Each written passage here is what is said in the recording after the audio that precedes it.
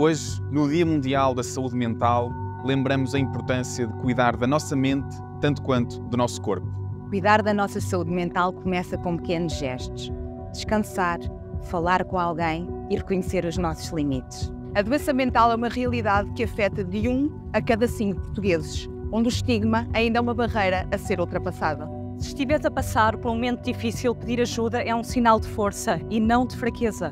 Neste Dia Mundial da Saúde, vale sempre a pena reafirmar que cuidar da nossa mente é um direito de cada um e de todos nós, do qual não devemos, em circunstância alguma, abdicar. Em seis meses, o governo já demonstrou que a saúde mental é uma prioridade.